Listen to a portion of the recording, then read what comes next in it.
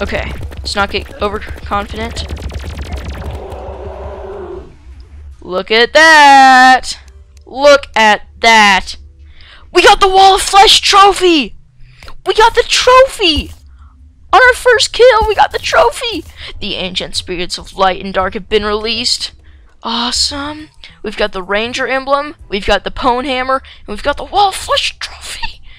Guys, welcome to hard mode.